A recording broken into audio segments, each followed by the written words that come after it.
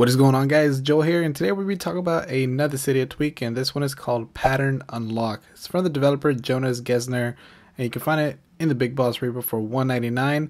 Now, what this actually does, it's an Android-inspired lock screen. So if we go ahead and lock our device, and then our we go ahead and slide to unlock right here, we see that we have an Android style unlock pattern uh, little circles here. So let's go ahead and unlock the device. So let's go ahead and check out the settings in this. So we'll go into our settings app, scroll all the way down to pattern unlock settings. And here I'll have to go ahead and enter my little pattern code. So here in pattern unlock settings, we have our turn pattern unlock off. And right under that, we are able to change our pattern. So we go ahead and enter our old pattern and we'll simply go ahead and set up a new pattern here. I think I forgot it. There it goes. So we can change the pattern if you'd like. And then right under that, we have require pattern.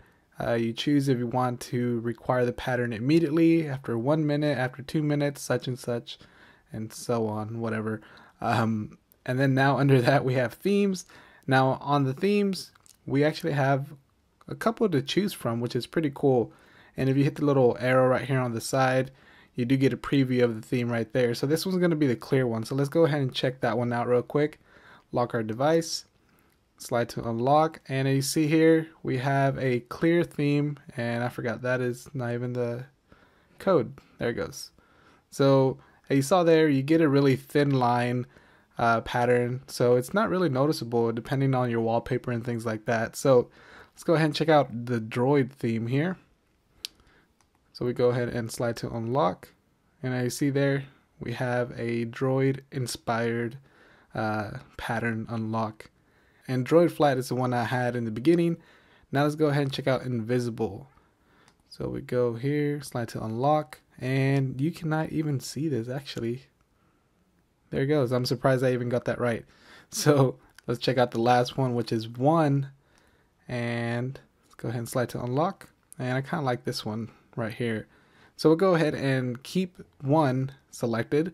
And under themes, we also have customized selected theme. So go ahead and check that out. And then we're able to configure a couple settings on here for the theme.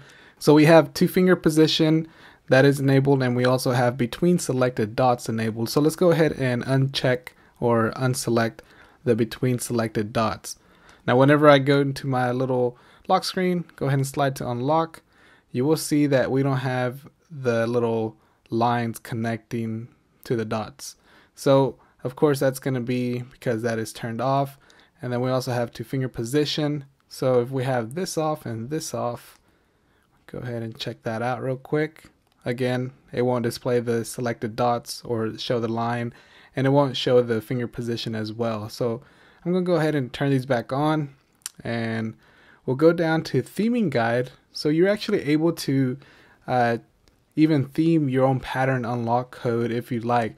So Jonas Gessner actually even provides a full article of how to actually theme your um, unlock pattern right there. So I think that is pretty cool.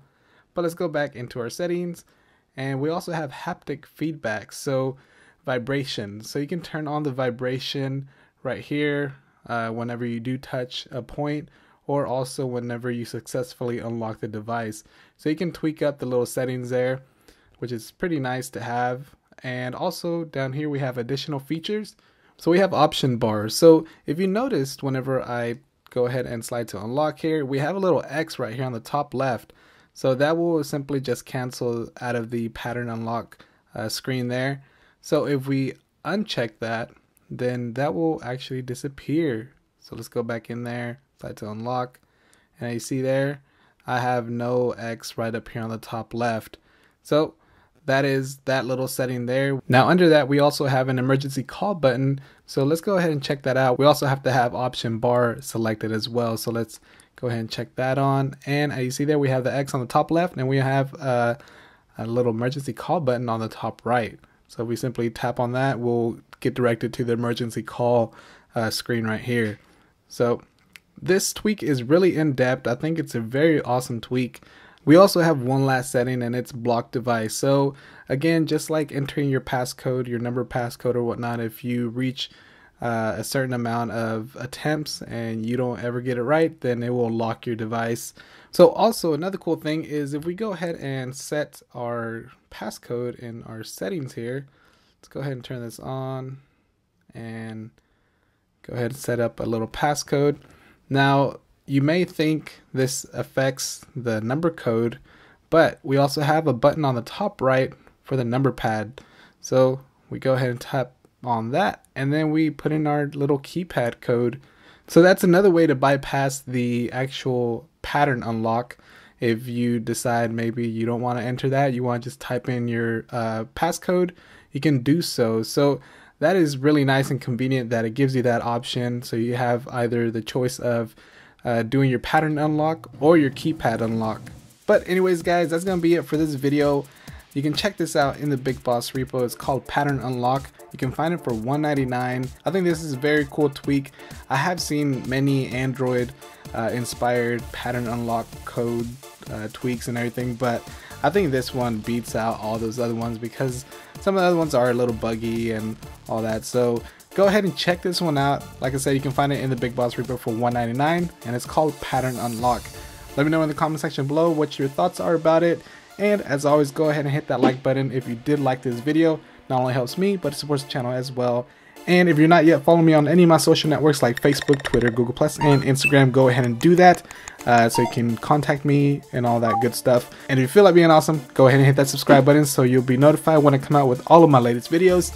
Anyways, guys, thanks a lot for watching, and I will catch you all on the next one. Alright? Peace!